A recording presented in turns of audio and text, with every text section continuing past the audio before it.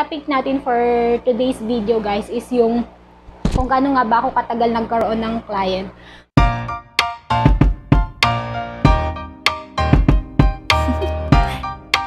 Do you want to know?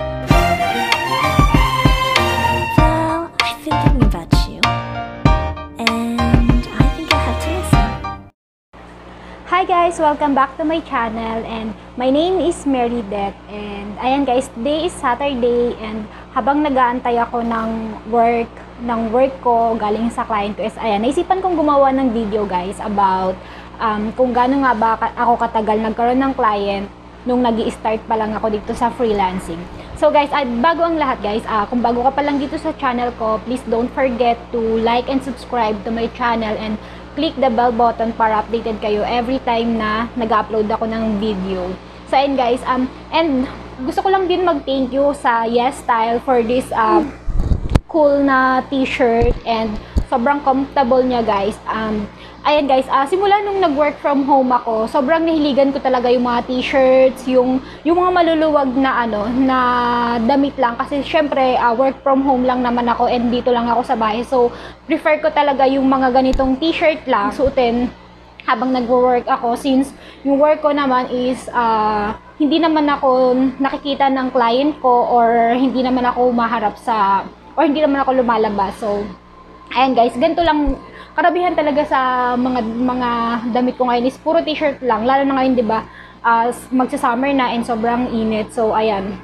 Ayan guys, ito um itong t-shirt na to guys, um ayan, sobrang ganda ng print niya. Ayan. Sobrang nagustuhan ko tong print na to kasi may coffee since I love coffee. Ayan, yan yung nagbibigay ng energy sa akin habang nandito ako sa bahay. Syempre kailangan kong ah kailangan may malakas yung energy mo kasi ah, minsan nag-work ako sa madaling araw, ganun. So, ayan. That's why, yan. Nag, sobrang nagustuhan ko tong ano, t-shirt na to. And, ayun guys, ito, kasama to sa mga napili ko sa ah, spring collection ng ah, Yes Style. So, ayan. Ilalagay ko yung description sa baba. And ayun guys, kung gusto nyo itong t-shirt na to, may discount kayo kung gagamitin nyo yung code na And yung topic natin for today's video guys is yung kung gaano nga ba ako katagal nagkaroon ng client. So, yun guys, ah, nag-start ako nung nag-start ako mag ah, research about freelancing ng January 2018 nung nag-resign ako sa work ko sa office.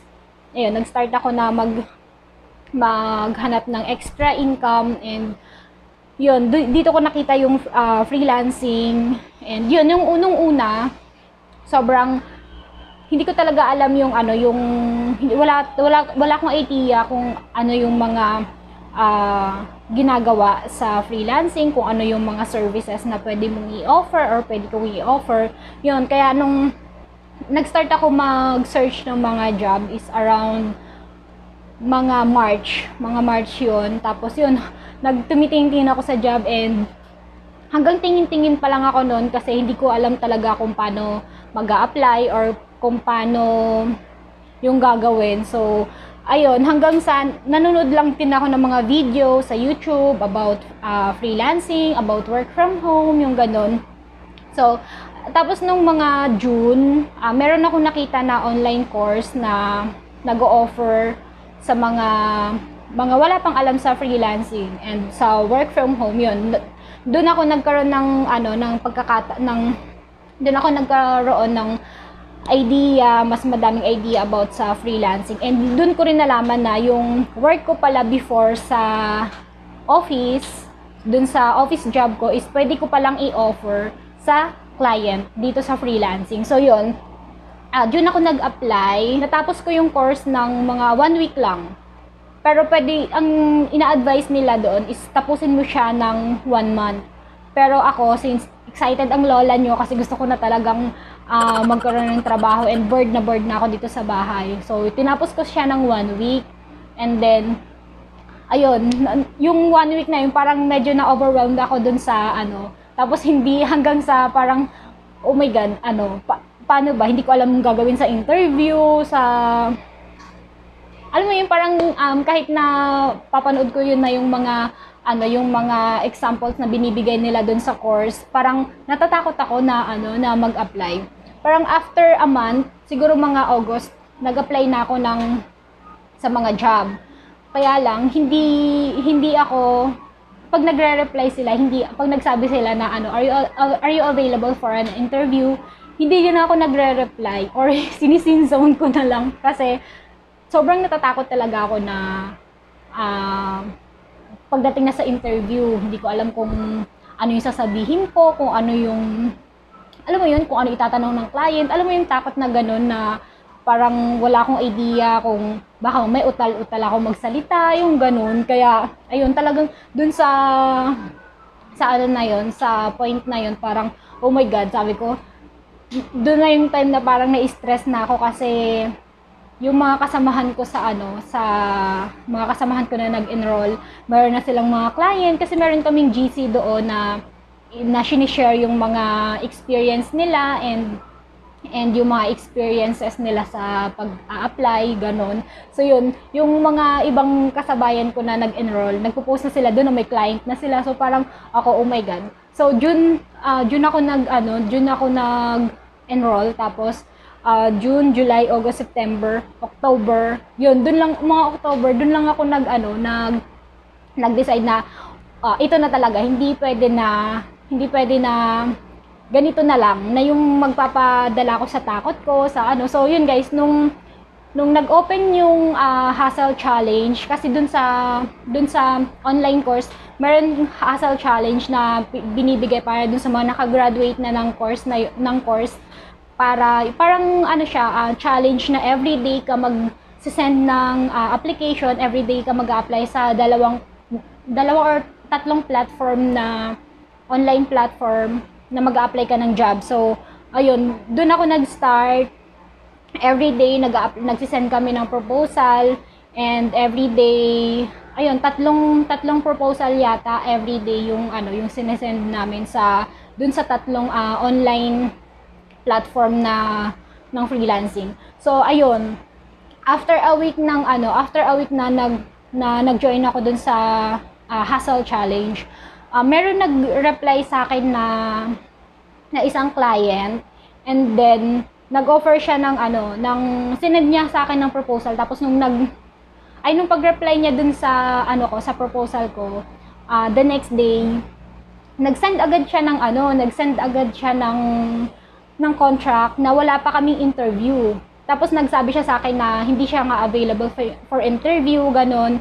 Hindi niya ako makausap. Email siya sa akin, nakalagay dun lahat kung ano yung gagawin, step by step. By step. So, ayun. Um, nag-start ako ng hindi niya ako ini-interview. So, yun parang sabi ko, oh my God, pwede palang ganun na ah, pwede ako mag-start na kahit walang interview. So, ayun, dapat, pero kinabukasan, I think, or after 3 days, ah, nag-usap kami through, ano, through Viber. So, doon na, yun. And then, nagustuhan naman niya yung, actually, yung contract na yun, for, uh, for, ano lang yun, for one week lang. So, after one week, nasa kanya kung itutuloy niya yung contract or hindi. Depende kung magugustuhan niya yung work ko or hindi.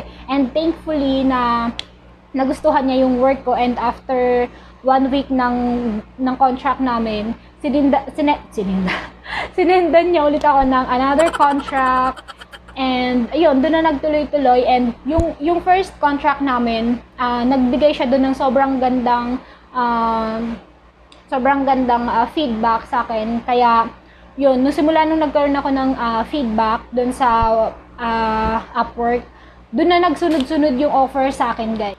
Parang, nung nagkaroon ako ng client and sunod-sunod na yung naging client ko, parang, yung six months na, na ko, parang ano, bali, parang, sa akin parang nawala, paano ba, parang, worth it yung paghihintay ko, paghihintay ko, or, alam mo yun, parang sa- sabi ko nun sa, sa sarili ko na parang, oh my God, kahit yung six months na yun na parang na-stress ako, na parang, oh my God, bakit hindi pa ako nagkakaroon ng client, ganun.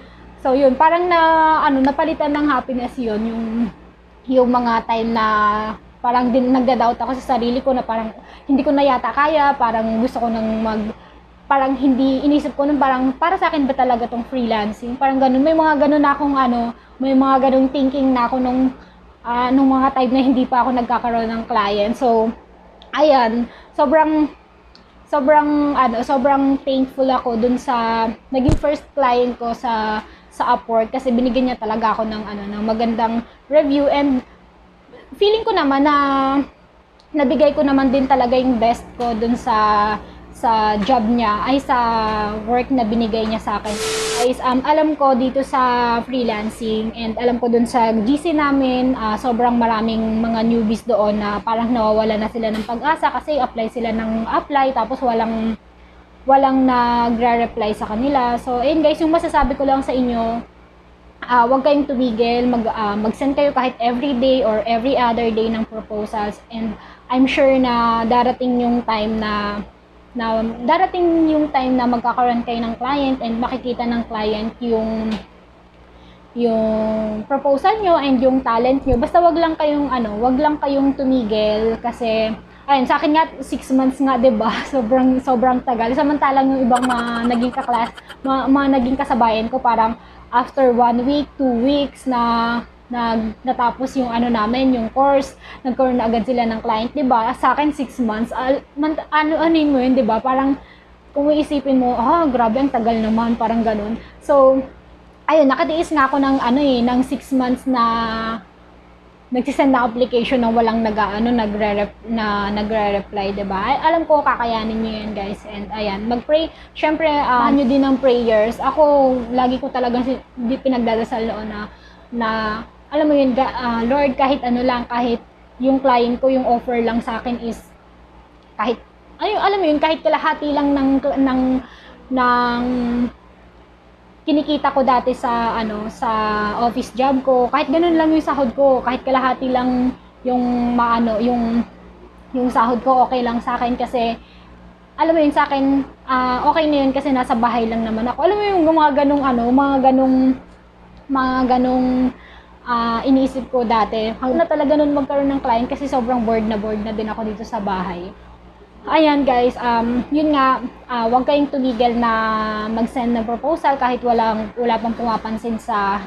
sa mga ah, application nyo. And and I'm sure darating yung araw na may meron meron at merong client na ano na re-reply sa inyo. So ayun guys, kahit hanggang ngayon, ah, meron pa rin nag ah, ano, meron pa rin ako natatanggap na invitation for interview sa Upwork kahit naka-off na yung ano ko, yung yung profile ko kasi ah, hindi muna ako tumatanggap ng clients kasi syempre hindi ko naman kaya, hindi naman ako superman na alam mo yun, kukunin ko lang lahat ng client ko kasi mahirap yun eh, yung ah, kukunin mo nang kukunin yung mga nagre, nagsisend sa'yo tapos hindi mo naman pala magagawa. So yun, um, na, ina-accept ko lang yung client na alam kong kaya ng oras ko and ayun guys, um, so ayun guys, kung may mga newbie dito, good luck sa sa pag-apply and ayan, prayers lang talaga and syempre, um, mahan nyo rin ng, ng gawa.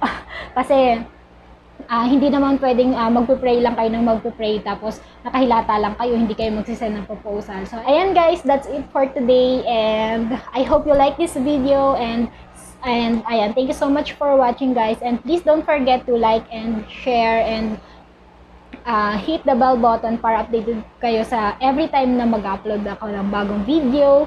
Bye!